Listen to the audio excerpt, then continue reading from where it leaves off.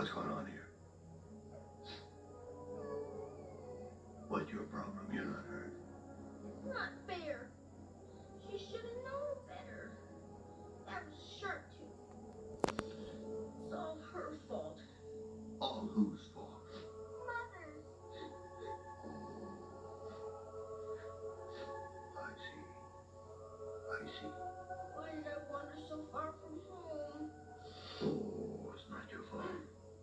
not your mother's fault.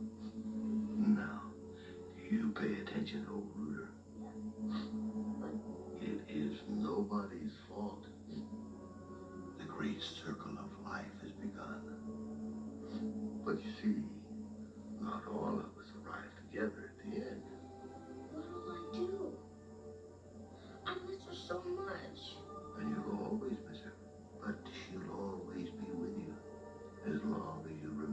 things she taught you.